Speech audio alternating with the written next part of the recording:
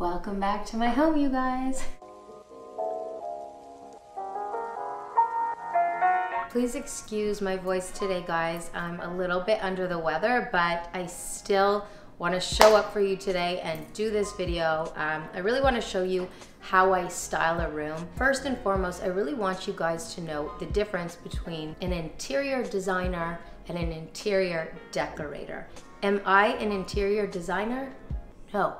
But am I an interior decorator? Also no. But I love interior design and interior decor. I love interiors, period. I just feel like it goes hand in hand with fashion.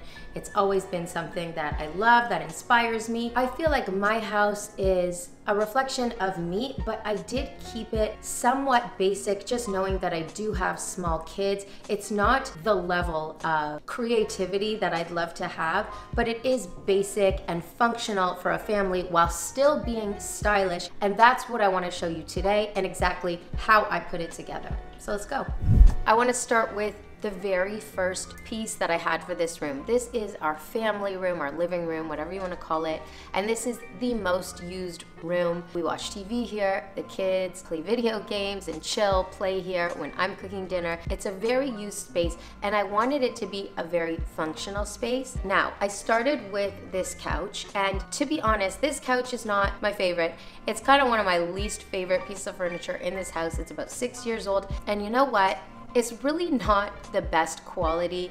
We got it for a really good price. We didn't know the quality when we bought it. It was a fair price for what it is, but we wanted something functional and livable that, you know, might may or may not get destroyed with a couple of kids. I want to show you the next item that I got for this room, which is the rug. Now, I knew that I had a dark gray couch and I needed a rug to tie into the room and work with the couch. Now, a lot of interior decorators or designers say you start with the rug. You find a rug that you love and you start from the bottom to the top. I don't know if that's the right thing to do. I never follow the rules. This is how I did it. I got the couch first and then the rug and I just felt like, okay, I found a well-priced rug that I liked the style of and I figured, okay, so now we got green and I gotta work with green. I didn't have a plan to go with green, it's just what I found. The price was good, the style was good, and that's how I decided to incorporate green into this room. All right, so because this room is not so huge, but still like a fair size, I needed to make a couple more pieces of furniture in here work because it would look too empty with one sectional couch. Usually ottomans are typically square. I knew that wouldn't work in here, so I needed to find a round ottoman. I found one, I custom chose the material, which is a light gray leather. I knew I was in the gray family. I had to stay gray, but I wanted like a little dimension so that I could be a little more adventurous with my pillows. Have basic colors in terms of furniture, but be a little more bold with my pillows. So some of the cushions have not maintained their form, but the way to kind of elevate your mid-range furniture to look really high-end is with pillows.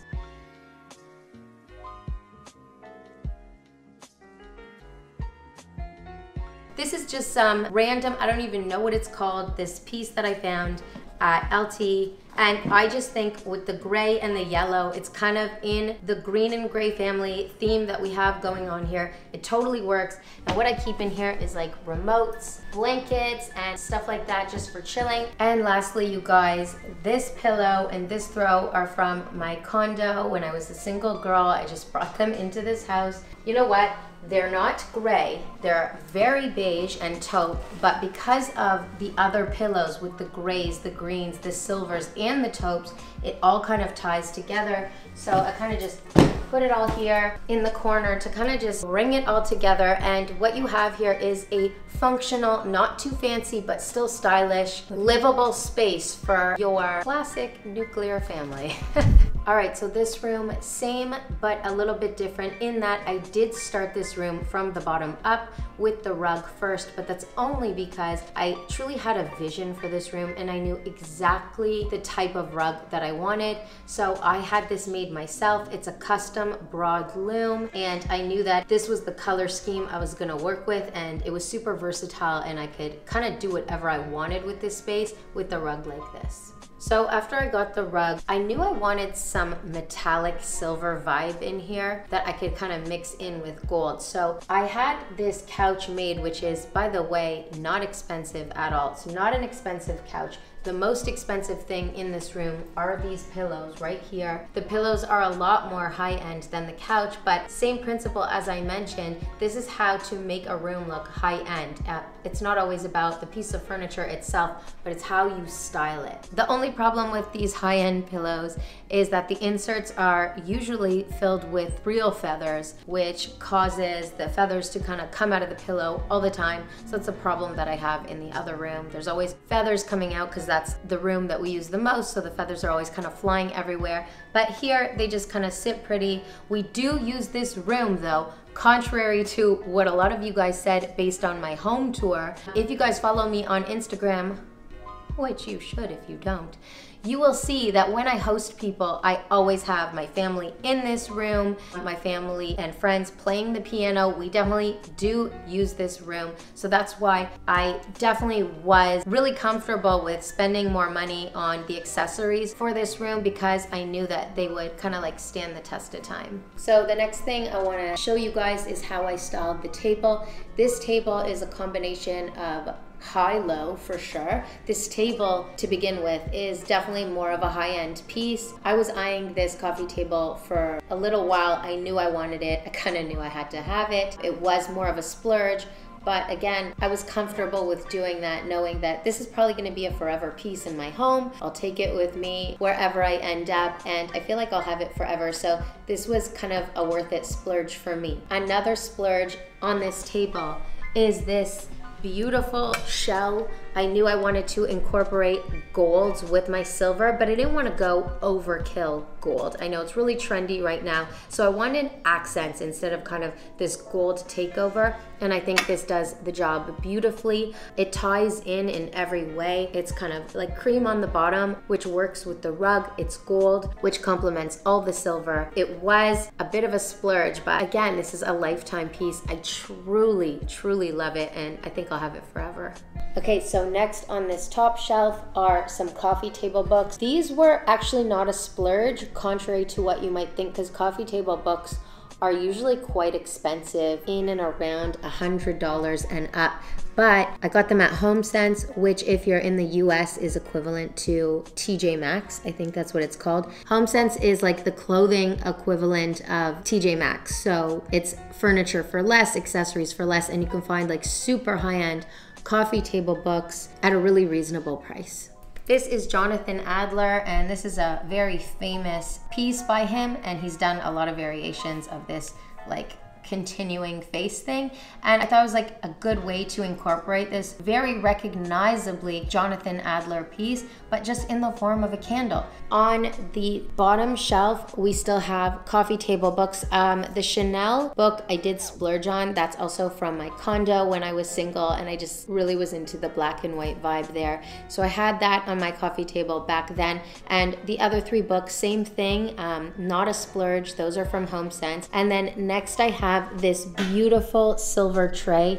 This was a splurge. It's really heavy. It is a piece and I wanted silver again to tie in with gold. There's kind of gold accents subtly placed everywhere here. Even with the fonts on the books, it all ties in together. And I wanted the silver to kind of complement the gold. And then next I have these, which were literally 10 bucks each, again from HomeSense. And they were during Halloween when, you know, you can find all these things during the Halloween season. Skulls are actually really trendy with interior design and decor. So I just thought, what a great way to jazz up my table in a stylish way on a budget. Oh my God, I just realized this while I'm shooting this. Are you kidding me? oh honestly, Violet. That is Violet that did that. I always catch her playing in here and I'm always like, get out of there. All right, so these end tables, one of the pieces is a hand-me-down. The other piece is a higher end piece that I found. I just thought it was really cool and I really wanted to kind of invest in a cool piece. I don't even remember where this came from. And this heart I got from my wedding registry from Crate and Barrel. Shout out Crate and Barrel. This was a gift from them. And I filled it up with the most iconic lifesavers. That's right, Wint-O-Green. Not winter, Winto. Do not get the blue package. It's the green package all the way. Wint-O-Green, okay? This is what you need. They are so delicious and amazing. Perfect flavor. Hashtag not sponsored, but you know, lifesaver, you know what I'm saying? Thank you so much for watching guys. I really wanted to show you guys how I style these rooms. There was a lot of interest based on my home tour. I really love having you guys here with me. I love doing these kind of videos for you. Let me know in the comments what you think, what you like, any ideas you might have. I love you guys so much. As always, I'll be back in a couple days with another great video for you. I can't wait to see you. Until next time, bye.